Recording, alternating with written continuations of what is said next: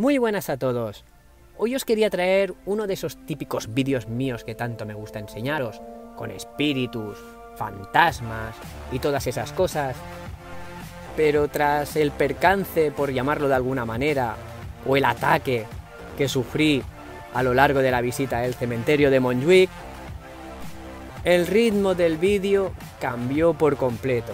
Así que os pido perdón de antemano y en lugar de miedo, espero que os riáis un rato. No me enrollo más y os dejo con el vídeo. En la misma puerta del cementerio nos encontramos con el Museo de Coches Fúnebres. Un museo en el que podemos encontrar todos los coches que llevaron a los muertos en Barcelona a lo largo de la historia. Hoy vengo a enseñaros una auténtica ciudad fantasma. Esto sí que es una auténtica necrópolis. Estamos hablando del cementerio de Montjuic. Un cementerio tan grande que incluso puedes ir por las calles en coche. Tan solo espero no perderme aquí dentro. El cementerio está dividido en varias secciones y para poder ir de un lugar a otro, lo mejor es ir en coche. Estamos en un cementerio con muchas historias diferentes. Hay muchísimas personas enterradas, pero personas buenas y personas malas. Ahora estamos en la parte principal, pero se dice que hay una parte en la cual hay gente enterrada no creyente. Una sección a la que se enterraba a la gente sin más, incluso hay una enorme fosa común. Podemos encontrar panteones con forma de pirámide. O incluso algunas parecen auténticas estructuras romanas. En serio, este sitio es enorme. Llevo pues igual 10 minutos aquí dentro y, y, una sola calle y no paro de encontrarme panteones como el de aquí detrás espectaculares, gigantescos. Me va a costar un montón encontrar lo que yo busco, pero bueno, sobre todo intentaré buscar las zonas en las cuales están más abandonadas y las zonas más antiguas.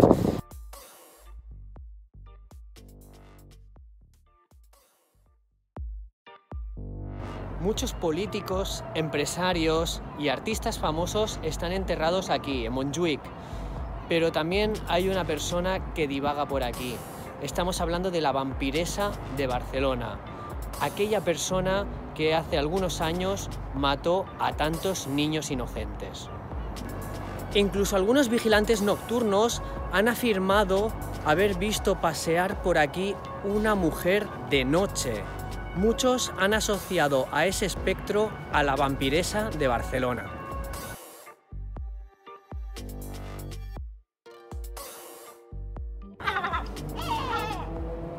Cuando eres atacado por unas gaviotas enormes. Me he quedado bloqueado en esta zona porque las gaviotas me están atacando.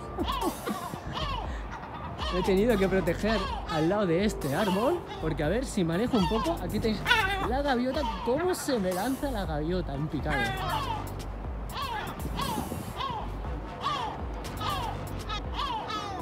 Y a ver ahora cómo salgo de aquí. Madre mía, he tenido que salir corriendo literalmente, pasando por donde hay árboles, para que no me caigan en picado las gaviotas. Ha habido una que me ha peinado. Madre mía, menudo. y además que están por esa zona, no sé por qué no quieren que vaya por esa zona. Así que me he tenido que ir hasta la otra punta. Voy a ver si puedo rodear por arriba. Sigo caminando y, y bueno, ha sido un inciso bastante curioso, ¿no? Nunca me habían atacado gaviotas. Estoy flipando porque la, gaviota que se estaba lanzando en picado sobre mí sigue sobrevolando por encima mío, me está controlando. No sé si la, podéis haber no sé si la habréis visto ahora pasar por detrás mío, pero sí, sí, sigue controlándome para ver dónde voy. ¿Qué pasa, gaviota? ¿Qué te he hecho, pu? ¿Qué? Estoy haciendo de snake total. Estoy pasando por las zonas cercanas a, las paredes porque es que sí, sí, se sigue lanzando sobre mí. No sé qué tendrá conmigo la gaviota esta, pero bueno, ahora mismo parece ser que no la veo. Sí, sí que está ahí, está ahí. Estás ahí, déjame en paz, hombre. No, acaba de salir volando una paloma pero no es una gaviota. La gaviota me ha fastidiado la temática completamente, ¿eh? Aquí la tenéis, aquí la tenéis, la famosa gaviota que te he hecho. Gaviota. Intenta, intenta, intenta lanzarse en picado sobre mí. Intenta lanzarme, lanzarse en picado sobre mí. Y ha habido un coche que se ha parado justo en la zona donde yo estaba y ha preferido venirse conmigo antes que quedarse con la gente nueva. Pues nada, voy a ir un rato hacia el coche a ver si se calma la gaviota y me deja grabar el vídeo, por favor. Bueno, vamos a seguir. Si hay novedades, os lo digo. Es nada, es inútil. La paloma cada vez que me acerco, perdón, la gaviota cada vez que me acerco. Estoy mirando hacia atrás porque es que es que me ataca por detrás. Cada vez que me acerco hacia esa zona de atrás, pues me ataca, no sé por qué. Así que voy a ir en coche, es lo que hay. Así ya no me podrá atacar. Seguimos. Aquí tenemos el famoso panteón que custodiaban las gaviotas, pero desde detrás.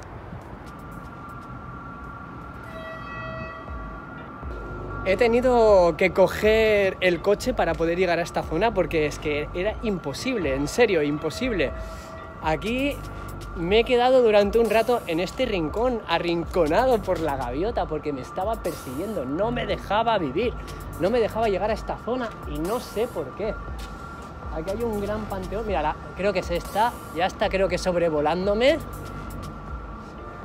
Lo que ahora no he cogido el trípode para poder grabar mejor. Me, dejado, me lo he dejado todo en el coche. He querido ver si podía llegar hasta aquí sin problemas. Y bueno, he podido, creo que la he despistado. A no ser que se me caiga ahora, en picado la gaviota de a saber dónde. Momento estoy tranquilo. Estas son las aventuras del cuentista en el cementerio y el ataque de las gaviotas. Madre mía. Hay una especie de ruido nuclear ahí en el puerto. No sé qué será. Igual es la alarma de que están avisando de que las gaviotas asesinas están atacando la zona. No lo sé. Tengo miedo. Y seguimos avanzando con el coche. Claro que sí, como valientes, porque es que era imposible dejarlas atrás. Así que seguimos avanzando para ver si al fin de una maldita vez encontrábamos la zona que tanto buscábamos. Lo que si os soy sincero iba controlando más el aire que no las tumbas.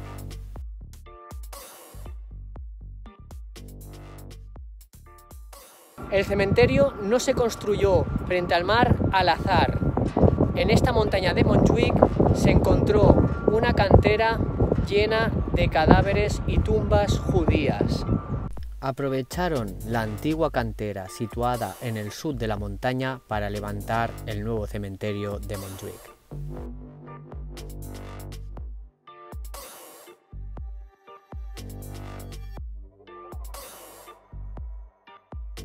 Pues aquí seguimos con el vídeo de terror custodiando este edificio, esta, bueno, este nicho, esta, esta tumba. Estoy nervioso porque tengo tres gaviotas encima. Se multiplican. Están intentándome atacar.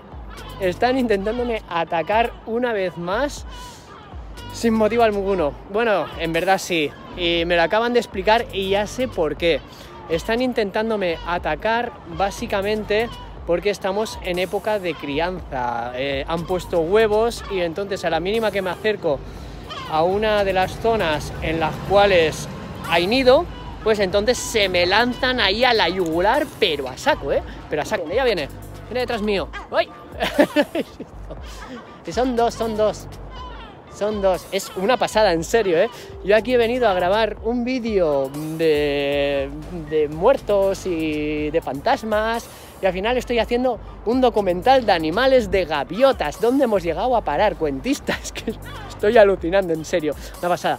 Me había quitado la sudadera porque digo, igual me, han reconocido o le tienen manía a la gente con sudadera negra y ahora voy con camiseta, pero no, se siguen lanzando y ahora tengo que entrar en el coche y están sobrevolando el coche. ¿Qué hago? Tengo miedo, no puedo entrar en el coche.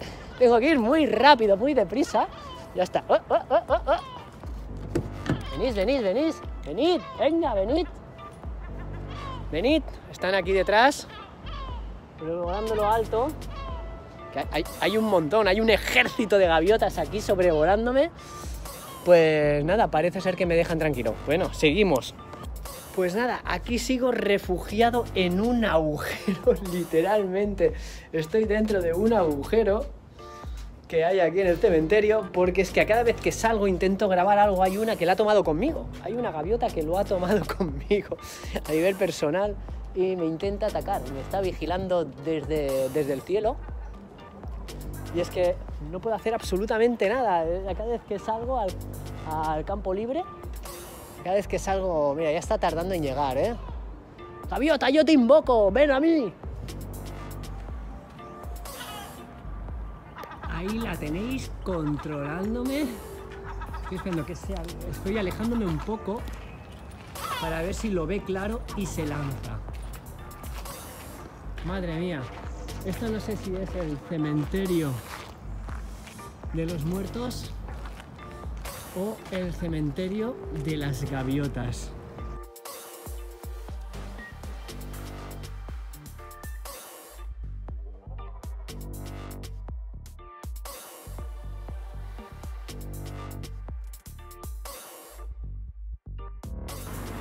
Ahora que ya hemos pasado el peligro de las gaviotas, o eso espero, nos estamos adentrando en uno de los lugares más históricos de, este cementerio. Aquí detrás es la fosa, la gran famosa fosa que es donde está enterrado Luis Companys, que fue ese rebelde defensor de Cataluña que fue fusilado en el castillo de Montjuic.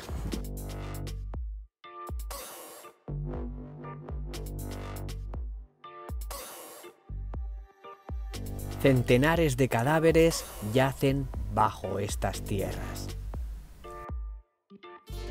Incluso la estatua luce su rostro de dolor.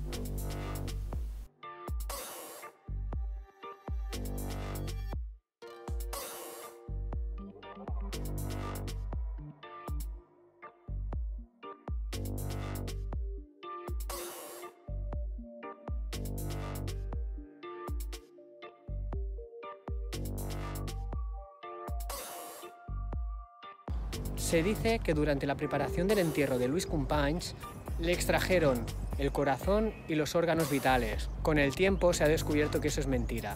Luis Companys fue enterrado completamente entero. Se dice que era una montaña mágica porque las piedras que extraían de este lugar dicen que llegaban a cobrar vida. Todavía podemos ver las antiguas tumbas con las estrellas de David que encontraron en la vieja cantera de Barcelona.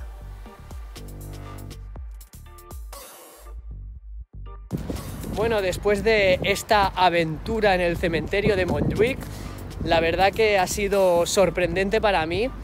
No me esperaba este ataque de gaviotas, la verdad me ha sorprendido mucho. Despido aquí el vídeo de hoy, espero que os haya gustado. Por favor, dadle a like, comentad qué os ha parecido el vídeo, qué os han parecido el ataque de las gaviotas y por favor, compartid el vídeo. Muchas gracias a todos y os espero en el siguiente vídeo. Gracias por escuchar mi vida. ¿Qué? ¿Estáis a gusto, eh? Aquí no me atacáis, ¿eh? ¿Vosotras? Sí, os hablo a vosotras. A vosotras dos, ¿eh? Levántate, ¿qué pasa? ¿Buscas pelea? ¿Buscas pelea? Ten cuidado, ¿eh? Ten cuidado, ¿no? A mí no me hables así, ¿eh? Ten cuidado, a mí no me hables así, hombre, con esos aires.